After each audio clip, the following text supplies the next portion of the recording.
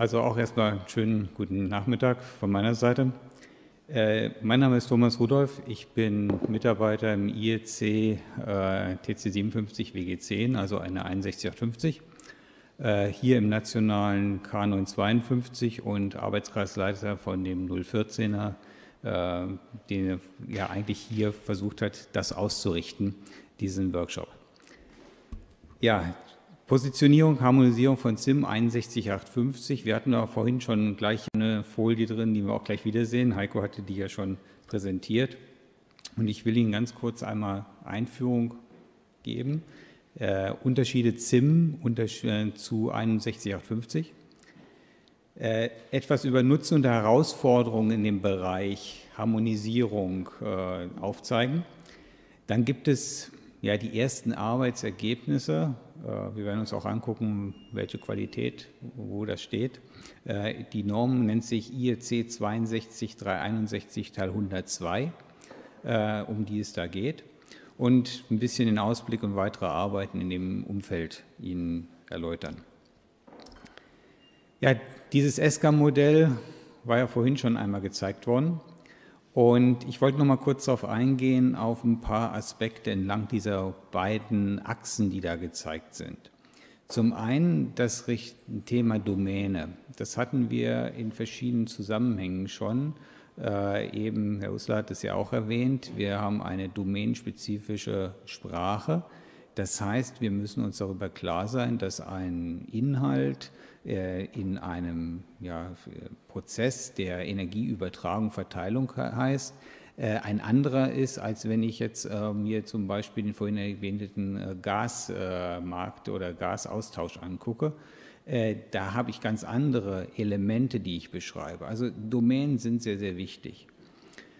Wir sehen auch, dass der Bereich, den IEC 61850 und SIM hier entlang dieser Achse abdecken, eben reinreicht bis in die Erzeugung, aber dort nicht den gesamten Prozess beschreibt.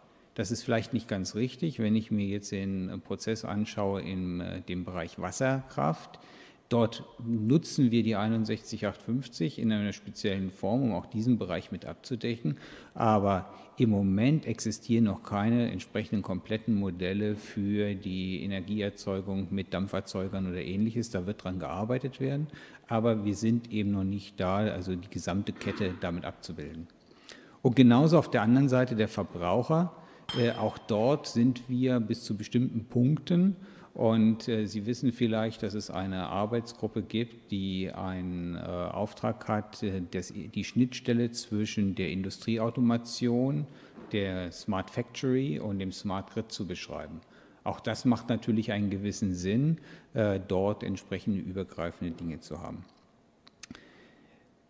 Ich war in Tokio gewesen äh, beim IEC-Meeting äh, äh, des TC57 und dort hatten wir interessanterweise einen Vortrag äh, gesehen von dem IEC-Technischen Komitee 3, das sich damit beschäftigt, äh, einmal zu sammeln, welche Semantiken es überhaupt in dem gesamten IEC-Welt gibt. Und man hat sich dort nicht einigen können auf das Format, also da ist man wieder auf Excel gekommen, äh, sehr zur Freude von vielen. Aber äh, eines der, der, wesentlichen Use Cases, mit denen man begonnen hatte, war das äh, ZIM zu betrachten. Das zweite sollte dann 61850 sein. Also äh, insofern sieht man schon, dass also das äh, Thema ZIM schon in der IEC als sehr, sehr wichtig betrachtet wird. Schauen wir uns einmal die andere Achse an, die Sohn, Soons oder die, ja, ich sag mal, die Hierarchieebenen.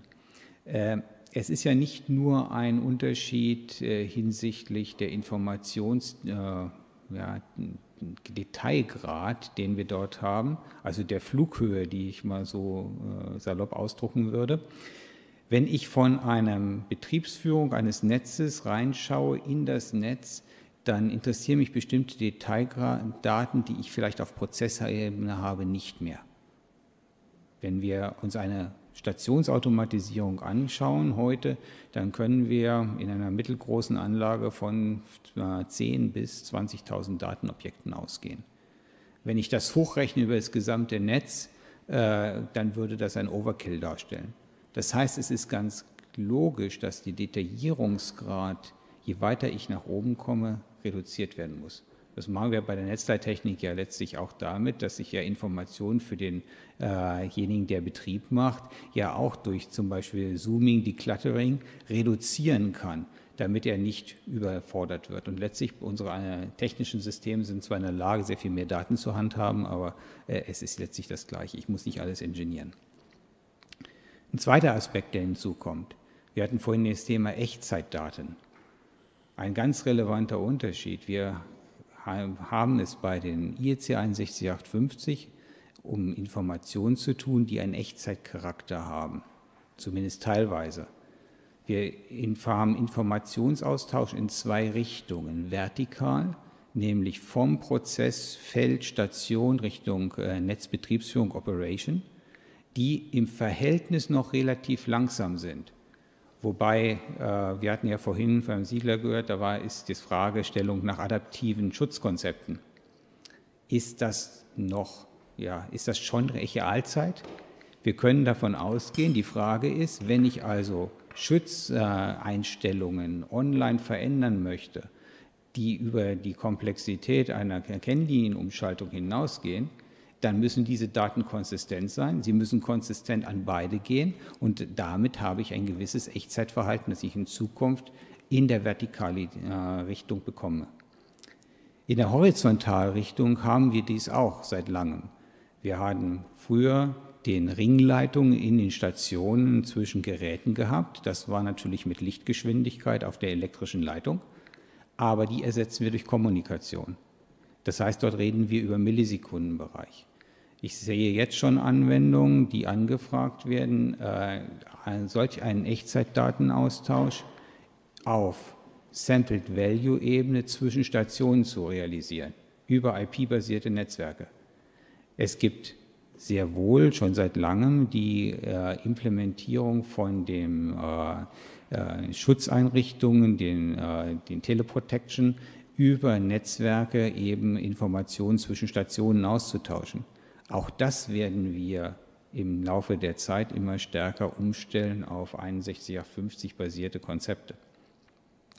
Das heißt, wir reden hier auch nicht nur über Daten, sondern über deren Übertragungseigenschaften und über deren Detailgrad, den wir in den unterschiedlichen Ebenen haben. Und deswegen ist auch die natürliche Grenze irgendwo der Übergang zwischen Station und das, was wir hier Operation bezeichnen. In der Station sind wir in einem lokalen, abgeschlossenen Gebiet mit überschaubaren, äh, ja, ich sag mal, räumlichen Ausdehnungen. Wir reden aber bei der Schnittstelle zwischen Station und Operations über viele, viele Kilometer über Warnarchitekturen und somit über ganz andere Möglichkeiten auf Daten zuzugreifen. Alles oberhalb der Operation Enterprise ist kein Realzeitverhalten mehr oder in der Regel kein Realzeitverhalten mehr. Das heißt, da kommen die ganz normalen äh, ja, Netzwerke zum Einsatz, äh, die dort eben die Informationsgeschwindigkeit, den Fluss bestimmen. Also nicht nur eine Frage der Datenmodellierung, sondern eben auch der Eigenschaften.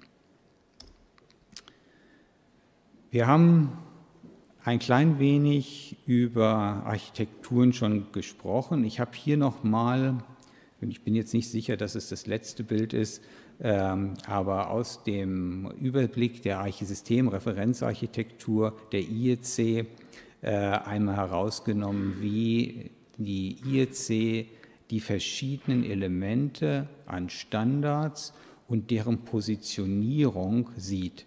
Und da sehen wir zwei Bereiche, ich habe sie auch wieder in den gleichen Farben markiert, nämlich grün in dem unteren Bereich, wo die IEC 61850 äh, orientiert ist und oben den rosafarbenen mit SIM. Dort sehen wir, dass also auch entsprechend diese Ebenen erst einmal komplett separiert sind. Also für den Datentransfer und Datenaustausch mit ja, mehr oder weniger Echtzeitdaten sind die unteren Ebenen gedacht. Sie stehen dort parallel zu anderen Mappings. Und wir wissen alle, es gibt heute zum Beispiel die 103, die 104, die 101 als Kommunikationsmedien. Und der wesentliche Unterschied zu diesen Protokollen, die ja letztlich in den ja, sagen wir mal 80er Jahren, Anfang der 90er entstanden sind, zu 61850 ist eben das Fehlen einer Semantik. Wir haben dort keine semantische Beschreibung, die weitgehend durchgängig ist, die auch eine Selbstbeschreibung der Daten auf der Schnittstelle selber erlaubt. Eines der Gründe dafür, warum wir nicht darüber reden, wie wir 104 mit SIM verheiraten. Das hat keinen Sinn. Wenn es keine Semantik gibt, kann ich auch nichts verheiraten. Äh, deswegen kann das also nur mit der 61850, die in dem unteren Einsatzbereich für die Stationen oder für die Netzautomatisierung in, in der Breite gedacht ist, passieren. Ja, ein kleines ja, Zusammenfassung 61850. Was ist der Unterschied? Wir haben es hier mit einem hierarchischen Datenmodell zu tun, das für bestimmte Anwendungsbereiche gedacht ist. Ursprünglich gingen wir davon aus, dass wir, als wir den Entwurf 1994 geschrieben haben, es nur um die Kommunikation in Stationen geht. Und so hieß ja auch der Standard. Das haben wir mit der Edition 2 komplett geändert. Dort hieß es dann nämlich Power uh, Utility uh, Communication. Also sprich alles, was in die äh, komplette äh, Betriebsführung von elektrischen Energienetzen äh, zählt und damit eben auch, dass die Erweiterungsmöglichkeit geschaffen Richtung Wind, Richtung Wasserkraft und anderen, die jetzt noch folgen werden. Fokus auf Interoperabilität. Ganz wesentlicher Aspekt steht in dem Teil 1 drin, dass Interoperabilität eben das Ziel ist.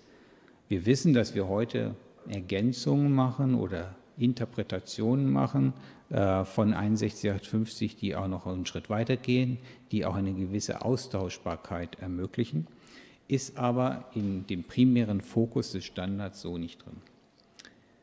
Ja, wie haben wir dieses hierarchische Datenmodell strukturiert? Wir wissen alle, ein Datenmodell ist eine Abbildung eines physikalischen Prozesses oder zum großen Teil eines physikalischen Prozesses. Und wenn man sich einmal das Bild rechts unten da anschaut, dann sieht man da irgendwo den Leistungsschalter äh, stehen und die Brille, die wir letztlich drauflegen auf die Information. Nicht alles interessiert uns. Die Farbe des, ich sage mal, äh, der Tank Leistungsschalters, der hier steht, der ist eigentlich schon ziemlich egal. Ja, also diese Property würden wir sicherlich nicht modellieren, ob das Silber, Schwarz oder was auch immer ist. Sehr viel interessanter sind aber Sachen wie Schaltzustände, wie Zustandsinformationen über den, äh, ja, wir würden so schön neudeutsch Asset Health sagen, also sprich über die Fähigkeit, überhaupt äh, die innerhalb der gegebenen äh, Anwendungsbedingungen zu agieren. Wir haben Informationen über Schaltspiele, wir haben Informationen über vielleicht den SF6 äh, Gasdruck innen drin. Äh, und das ist ein gutes Beispiel. Es interessiert vielleicht auf der Netzleitebene überhaupt nicht, was der konkrete Druck oder die konkrete Dichte an SF6 in einer solchen äh, Leistungsschalter ist. Es interessiert mich dort, ist er für den Netzbetrieb ausreichend, also im Prinzip eine Ampel, oder muss ich irgendjemand mal dorthin schicken, der das kontrolliert? Das heißt, die Informationsart und Weise der Hand oder die Betrachtungsweise wird sich also wandeln. Die Informationen selber sind dort in einer bestimmten Form organisiert. Wir reden von sogenannten logischen Devices, Logical Devices oder logischen Geräten. Warum? In der Realität hatten wir früher angefangen, jede Funktion mit einem eigenen Gerät zu implementieren. Ganze Schaltschränke voller eigenen Geräte. Und das führte dazu, dass das zum Beispiel im Ausland, in, gerade in den USA, durchnummeriert wurde. Das war ein Ordnungskriterium. Und wer heute über eine Schutzfunktion äh, diskutiert, zum Beispiel 21 Distanzschutz, der hat ein solches Modell von amerikanischen Vorstellungen in, im Hinterkopf. Und dann gab es einen Überstromzeitschutz mit einer anderen Nummer. Das ist ein Ordnungskriterium. Wir haben die vielleicht ganz anders genannt, aber im Prinzip eine erste Art von semantischer Bedeutung. In IEC 61850 sind wir da etwas ja, konsistenter vorgegangen und haben uns wirklich angeguckt, was gibt es denn an Funktionalitäten in diesem Umfeld und sind entsprechend vorgegangen, haben eine Liste erstellt, die in dem ersten Entwurf, ich glaube, waren um die 110 logischer Knoten, die dort in der Edition 1 drin waren. Diese logischen Knoten repräsentieren also die Funktionen. Sie müssen natürlich zusammengeführt werden, zusammengehalten und deswegen haben wir letztlich einen Container geschaffen, ein Logical Device. Ich werde auf dem nachher nochmal rumreiten, weil Sie werden sehen, dass das also eines der unterschiedlichen Sichtweisen ist, die wir gerade als, auch als Schwierigkeit haben. Dass logische Knoten oder Funktionen letztlich irgendwelche Datenobjekte nachher haben, ist, glaube ich, ganz klar, dass die dem hierarchisch untergeordnet sind auch und dass die auch vielleicht dann noch Attribute bekommen. Äh, Beispiele, Attribute könnten sein eine Zeit, es könnte sein die Qualität dieser Information. Wir machen das aber nicht in einem Wildwuchs, sondern der Begriff vorhin Klasse ist ja schon gefallen. Auch wir benutzen Klassen dafür, um solche Datenobjekte und Logical Nodes und äh, auch vernünftig zu beschreiben. Etwas, was es überhaupt nicht in SIM gibt, und da sind wir schon bei einem Unterschied, ist ein Mapping auf ein Kommunikationsprotokoll. Wir haben SIM, ein reines Datenmodell. Wie die Informationen tatsächlich von A nach B dann kommen, ist eigentlich nicht unser primäre Interesse. Dafür gibt es Methodiken. Hier handelt es sich aber um dezidierte Kommunikationsprotokolle, die in ihren Eigenschaften unten drunter beschrieben sind, mit denen diese Strukturen unterstützt werden. Das haben wir im Prinzip heute zwei, nämlich 8.1, das sowohl die vertikale Kommunikation mit MMS beziehungsweise die horizontale äh, Kommunikation mit einem direkten Mapping auf ISO IEC 8802-3 abbildet und wir haben 9.2, sogenannte Sampled Values, die also sehr schnelle Messdaten sind, Abtastwerte in der Größenordnung 4800 Hertz, also 4800 Samples pro Sekunde, die dort durch die Gegend geschickt werden.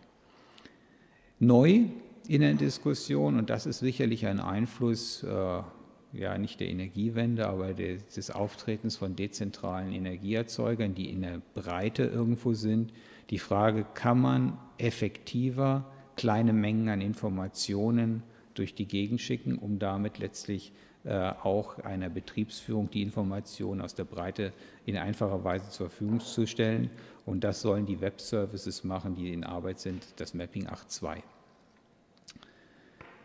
Ja, und dann der dritte Punkt und der ebenfalls sehr äh, wichtig ist für uns, die einheitliche Konfigurationssprache, die SCL, die Substa ursprünglich Substation Configuration Language, also noch die, den Footprint oder den Fußpunkt in der Station äh, hat, äh, oder System Configuration Language, wie es eigentlich heißen müsste.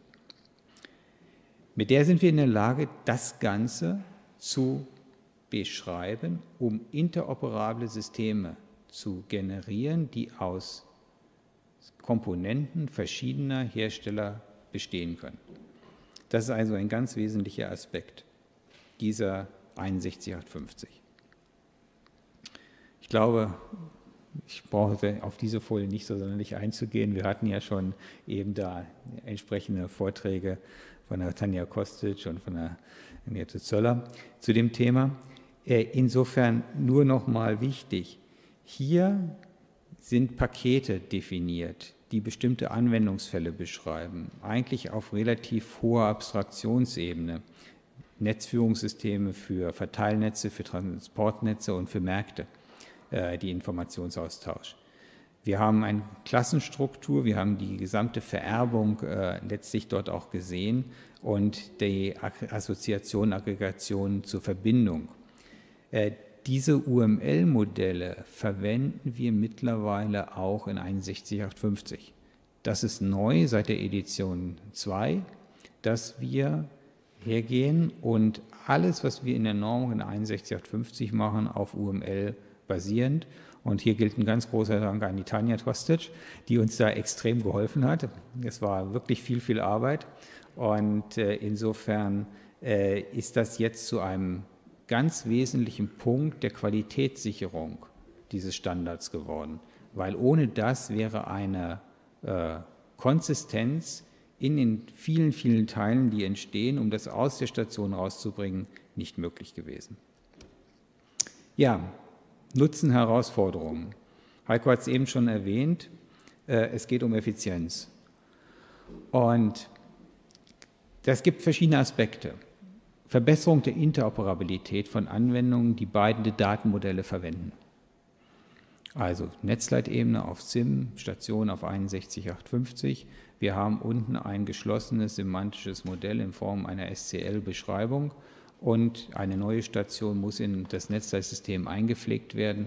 Das kann dort, wenn dort entsprechende Transformationsregeln vorliegen, sehr viel einfacher und vor allen Dingen nicht nur einfacher, sondern fehlerfreier erfolgen. Alles, was wir automatisiert machen können, wo wir auf Regeln basierende äh, Prüfungen laufen lassen können, erhöht die Qualität. Und das ist eines der wesentlichen Punkte. Alles, was manuell ist, wo der Mensch dran sitzt,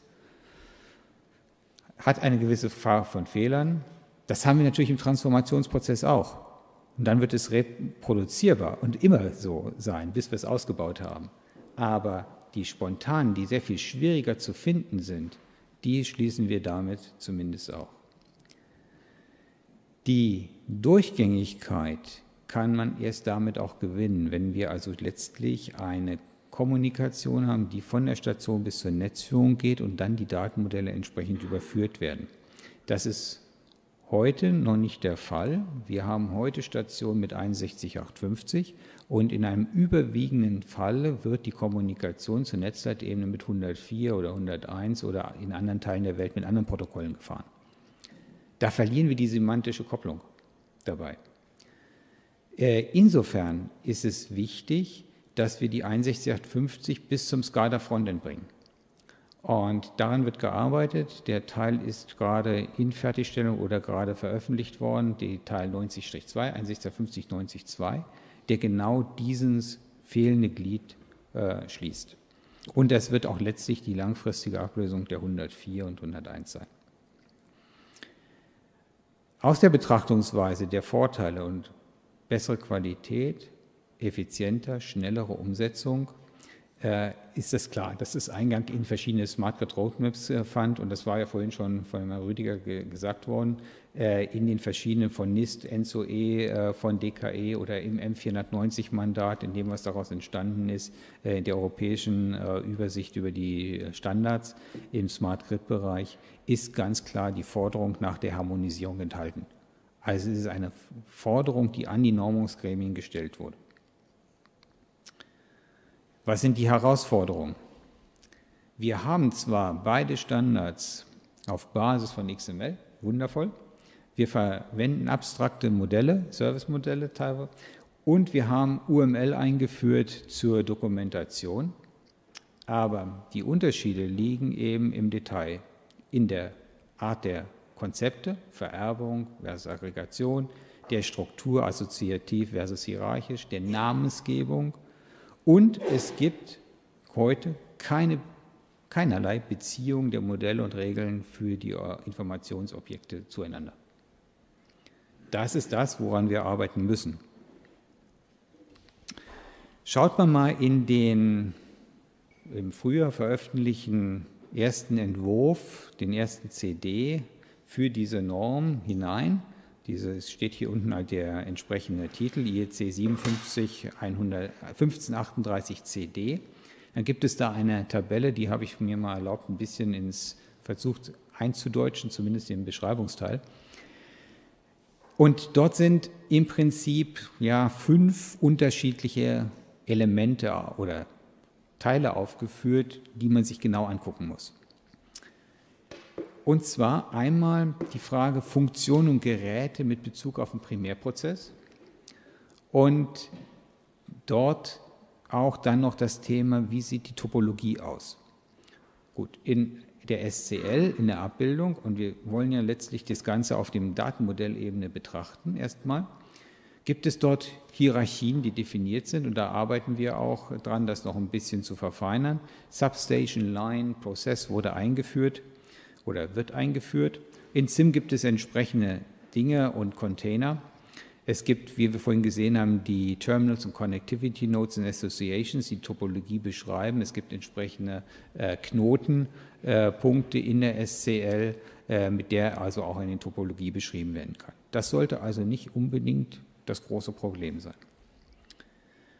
Wir haben einen weiteren Punkt, auch das war in dem Beispiel drin. Sie erinnern sich mit dem äh, Rechteck und dem Kreis und den XY-Koordinaten, also den Diagram Coordinates, die zum Zeichnen des Einstrichschemas zum Beispiel dienen können.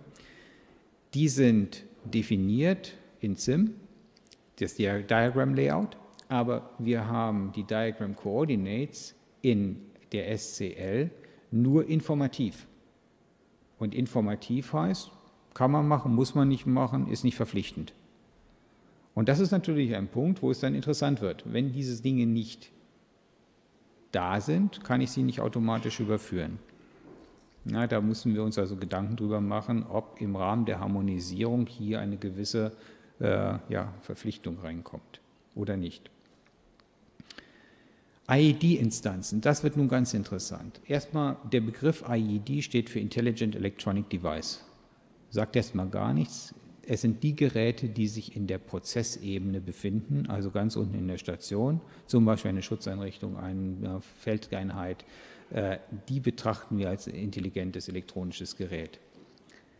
Und die sind am Ende die Elemente, die auch tatsächlich die Funktionen ausführen, enthalten also Logical Devices und Logical Nodes und alle Datenattribute, äh, Datenobjekte und alle Datenattribute unten drunter. Und die Frage ist, gibt es dafür eine entsprechende Repräsentanz auf ZIM-Ebene?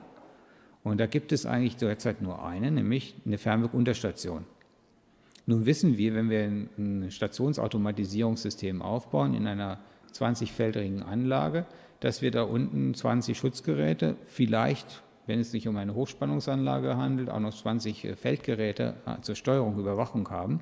Das heißt, wir haben 40 Geräte, die als Einzelgeräte da sind, mit ihrer eigenen Health, mit allem drum und dran, was dazu notwendig ist. Und dann sitzt oben drüber ein Fernwirrkopf, der all diese Informationen zusammenpackt und einen Proxy nach oben schickt. Das heißt, wir haben keine 1 zu 1 Repräsentanz hier. Und Schutzgeräte sind auch in der Form so in SIM nicht richtig modelliert. Es gibt, glaube ich, einen Überstrom-Zeitschutz, aber einen Distanzschutz hat man schon mal gar nicht mehr. Also auch die Granularität dort wird, wird schwierig. Das ist ein Punkt, an dem wir uns konzeptionell etwas überlegen müssen und gegebenenfalls auch in SIM vielleicht die eine oder andere Erweiterung notwendig wird. Messwerte, Statusinformationen, steuerbare Objekte, Einstellwerte und Parameter. Die fallen in zwei Kategorien, in SIM, SIM Measurements und SIM Object Attributes. Äh, abgesehen davon, dass ich nicht glücklich bin äh, mit dem Begriff Measurements, der einfach aus dem Amerikanischen so rübergekommen ist, wenn es sich um eine digitale Information handelt. Äh, das ist halt einfach eingeführter Sprachgebrauch aber dahinter verbergen sich auch noch Funktionalitäten. Steuerbare Objekte zum Beispiel haben wir ganz bestimmte Prozeduren zur Folge im Ablauf der Kommunikation, in Betrachtung der Kommunikation in der 6150-Welt. Das gibt es in SIM überhaupt nicht. Das wird nicht betrachtet an der Stelle. Äh, insofern muss man bei diesen ganz speziellen Typen hinschauen und sich überlegen, wie man dort Abbildungen von bestimmten äh, Funktionalitäten findet. Ja, und dann ganz unten, Kommunikation, hatte ich gesagt, ist kein Bestandteil von SIM, ist aber in der SCL enthalten. Ja, die 62, 63, 102, die Zielsetzung. Diese wird eine technische Spezifikation werden. Und ist damit eigentlich gedacht, Regeln zu definieren, nach denen eine Transformation von der SCL Richtung ZIM erfolgen kann. Äh, ich habe mal das Bild rauskopiert aus dem aktuellen äh, Entwurf. Da sieht man so ein bisschen die, das, was ich eben in der Tabelle äh, erläutert habe. Was lässt sich denn direkt nun äh, zuordnen? Da sieht man schon, dass eine ganze Reihe von Dingen also nicht so direkt zuordnenbar sind in den Hierarchien. Wir müssen also einen anderen Weg finden. Da wir keine 1 zu 1 Überführung machen können, müssen wir uns sogenannte Use Cases angucken, also sprich Anwendungsfälle. Und da sind einige definiert worden. Nur anhand dieser Anwendungsfälle können wir wieder vorgehen, ähnlich wie das mit den Profildokumenten ist, eine Auswahl zu treffen, können wir es also hier mit den Anwendungsfällen machen, die durchzuspielen und sagen, was wäre dafür notwendig, damit das funktioniert. Es wird also nicht die Möglichkeit geben, hier den Stapel 61850, da den Stapel ZIM zu haben und dann gibt es da was komplett Automatisches, was da einmal drüber läuft das funktioniert.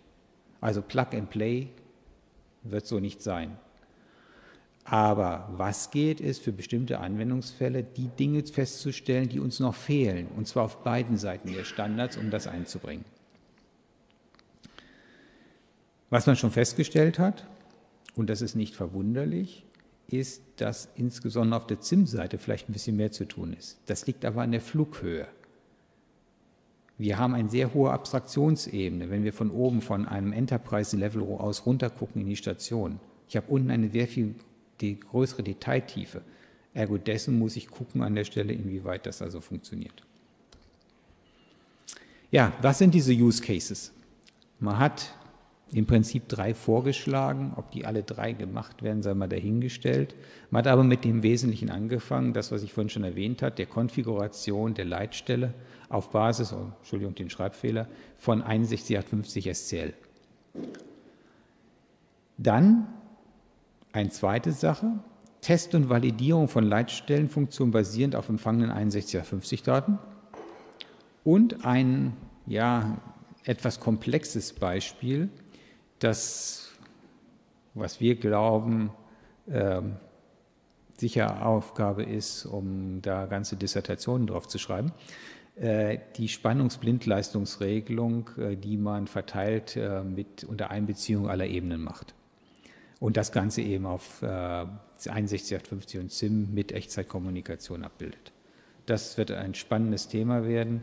Ich kann sagen, unser Unternehmen hat also da eine äh, entsprechende Doktorarbeit gestartet, um das mal ein bisschen aufzuarbeiten, wobei wir nicht glauben, dass, dass es tatsächlich komplett möglich ist. Aber wir wollen die Randbedingungen auswählen, wir wollen ein bisschen hier diesen Prozess unterstützen, äh, um zu sehen, wo sind da Randbedingungen. Ja, was ist, wird nicht betrachtet? Und das ist eigentlich das Interessante dabei. Simulation ist außen vor. Schutzkoordination und adaptiver Schutz ist außen vor in dieser Betrachtung. Das liegt aber weniger an der 61850-Welt als vielmehr oben das, was ich sagte am, am ZIM. Systemschutz ist außen vor und Asset Management ist momentan außen vor. Heißt nicht, dass diese Use Cases nicht betrachtet werden. Das heißt nur, dass sie im Moment, im jetzigen Stadium noch nicht gesehen werden oder noch nicht geplant sind. Ja, Einzelelemente des Mappings. Und das ist nur ein Ausschnitt ich hatte vorhin erwähnt, als wir angefangen haben mit der 61850 Edition 1, hatten wir so 110 logische Knoten. Und das ist das, was Sie in dieser Tabelle in der linken Spalte sehen. Äh, da sehen Sie Namen und da sehen Sie hinter die Datenobjekte. Und Sie können sich vorstellen, wenn das 110 logische Knoten sind mit zig äh, Datenobjekten, wie lang diese Tabelle wird. Und man guckt jetzt also im Prinzip, was ist die 61850 Beschreibung und was ist die dazugehörige ZIM-Beschreibung. Gibt es die? ist da eine 1 zu 1 Verbindung. Das ist im Prinzip genau das, was man immer machen muss. Man muss erstmal feststellen, redet man dieselbe Sprache, ist derselbe Inhalt hinter. Wenn nicht derselbe Inhalt hinter ist, ist es nicht dasselbe Datenobjekt und dieselbe Information, über die man redet. Also das muss wirklich äh, durchdekliniert werden. Diese Arbeit ist begonnen worden. Äh, man hat auch das eine oder andere schon festgestellt, wo es dort äh, eben hakt. Was wird in diesem Mapping diesen Einzelelementen verglichen. Equipment und the Measurements, dann die SCL Substation Section, SCL Elements in SIM Classes, Equipment Types and Codes, Connectivity Modeling, Stromwandler und Phasenmodellierung, ein sehr interessantes Thema, äh, Logical Nodes und SIM Measurements. Also, all diese ganzen Dinge werden äh, betrachtet und abgearbeitet. Und das bezogen auf den Use Case weil es macht keinen Sinn, dass wir uns jetzt um Use Cases äh, Gedanken machen, die äh, vielleicht ganz anders gelagert sind. Also wir fangen mit diesem Mapping der Station auf die, äh, die ZIM-Welt an. Bin ich so über die Zeit? Ja, okay. Also kommen wir auch gleich zum Schluss. Äh, wir hatten die erste Kommentierung und wir haben 122 Kommentare, äh, die aufgezeichnet wurden an dem ersten Draft. Im Verhältnis eigentlich wenig. Ich hätte mit mehr gerechnet. Aber die führen dazu, dass dort einige Sachen wirklich konzeptionell nochmal überdacht werden müssen. Äh, die Taskforce arbeitet an einem neuen Draft für einen zweiten CD. Äh, dieser neue Draft wird dann auch entsprechend diese Kommentare berücksichtigen, mit einarbeiten. Und dort gibt es eben momentan fünf Hauptrichtungen, diese Überarbeitung voranzuschreiben oder zu betreiben in Richtung Substation Data, in Richtung Measurements, Status Controls, Settings and Parameters, Communication Configuration und Diagram Data. Dann wird es notwendig sein, eine Runde zu drehen über die Working Groups 10, 13 und 14. Und ich kenne momentan noch nicht den neuen Termin für den zweiten CD. Ursprünglich war er für Ende dieses Jahres geplant. Das glaube ich nicht, dass das äh, noch passiert, aber irgendwo im Laufe des nächsten Jahres sollte der also äh, kommen. Ich weiß nicht, Heiko, ob du mehr weißt zu der Stelle. Aber das letzte, was ich vom Herb Fork gesehen hatte, war äh, ohne Termin. Gut, das ist der Stand. Wichtige Arbeit, nicht einfach, aber auch nicht unmöglich. Das hatte ja vorhin schon Herr Rüdiger betont. Jeder hat für seine Use Cases etwas irgendwo im Köcher, mit dem er arbeiten kann. Wir wollen natürlich eine standardisierte Lösung für bestimmte Transformationen haben und deswegen arbeiten wir auch da weiter dran. Und wenn es zwei Tage länger dauert, ist es, glaube ich, der Qualität geschuldet, die man da reinsteckt, sich wirklich Gedanken zu machen, wie das funktionieren kann. Die Ansätze und die Notwendigkeiten für beide Normen waren vom Ansatzpunkt in den jeweiligen Jahren komplett unterschiedlich. Und deswegen ist es auch nicht verwunderlich, dass wir da keine 1 zu 1 Deckung haben. Aber das ist das Leben halt. Ja, das war mein Bericht dazu. Gerne Fragen. Ja, vielen Dank für den Statusbericht. Man muss vielleicht auch dazu sagen, das ist ja nicht das erste Mal, dass dieses Projekt gestartet wurde. Es gab ja schon mehrere Versuche, aber diesmal haben wir wirklich die Chance, äh, das fertigzustellen, weil es das erste Mal auf, es wird sich konzentriert auf einen wesentlichen Anwendungsfall. Und vorher, so war meine Wahrnehmung, hat man immer die ja, Weltformel gesucht äh, mit ganz vielen Anwendungsfällen um das allgemeingültig zu machen. Und hier geht man jetzt richtig mal pragmatisch vor und sagt, was ist der relevante Anwendungsfall? Den stellen wir in den Fokus, der Rest kann mal später kommen. Und ich glaube, das ist zielführend. Ja. Fragen? Prima. Ich frage mal ganz, ganz konkret, jetzt auch in Richtung ja, Anwender. Braucht man das? Weil bisher haben wir es ja nicht gebraucht.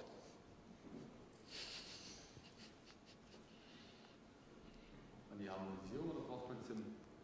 Ja, braucht man, braucht, braucht man die äh, Harmonisierung?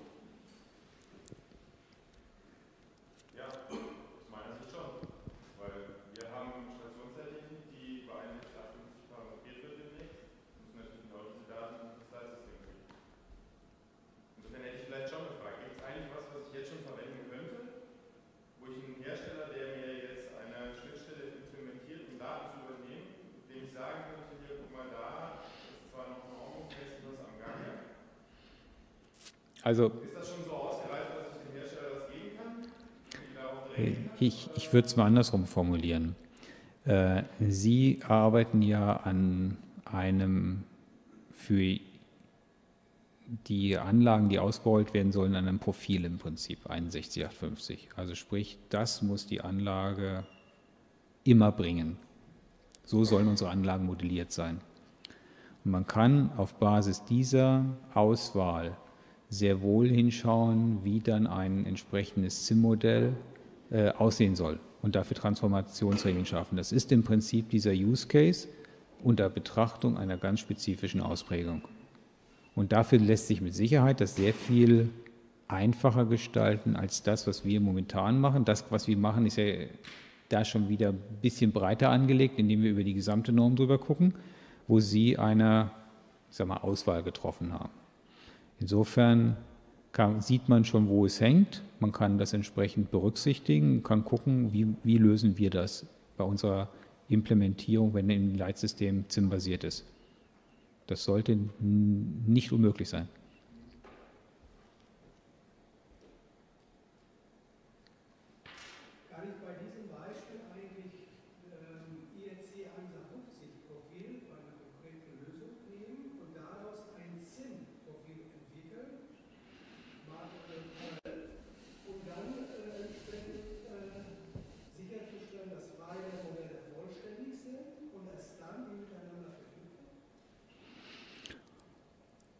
Gute Frage. Erstmal müssen wir uns darüber unterhalten, was die IEC 61850 Profil abdecken wird, was ZIM-Profile abdecken, wo das eventuelle Gemeinsamkeiten und Delta sind und dann eventuell noch dazu bringen, das, was Sie jetzt interessiert, ist das Firmenprofil, damit auch noch deckungsgleich. Das kann durchaus wieder unterschiedlich sein weil Sie ja noch bestimmte an, Ihre Anwendungselemente dort mit reinlegen. Es wird also noch detaillierter sein. Ich gehe aber mal davon aus, dass wir vielleicht diesen Ansatz äh, klarstellen können mit dem erwähnten Dokument, was Heiko vorhin erwähnte, nämlich äh, dass äh, IEC selber klarstellt, was sie unter den Profildokumenten versteht. Aber ich könnte mir durchaus vorstellen, dass die Transformationsregeln dazu dienen, wie kann ich von dem einen zum anderen kommen. Aber die würden Sie dann auch automatisch geben? Ja, also ich sage mal, mit äh, automatisch habe ich immer meinen, meinen Bauchschmerzen, dass alles so automatisch geht. Ich glaube, ohne die, die Engineering-Leistung eines Menschen und dessen Sachverstand geht es nicht ganz. Das wollen wir auch nicht einsparen. Nee. Wir wollen ja noch was zu tun haben. ja gut, dann, dann herzlichen Dank.